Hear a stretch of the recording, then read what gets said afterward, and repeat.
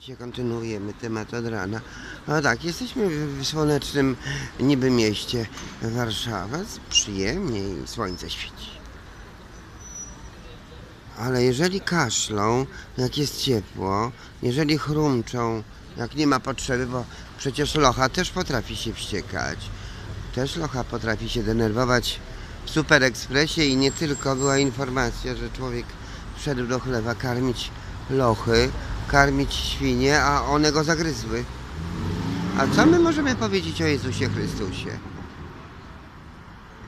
Którego Żydzi zabili. Żyda zabili Żydzi. Co możemy powiedzieć? No, podobna sytuacja.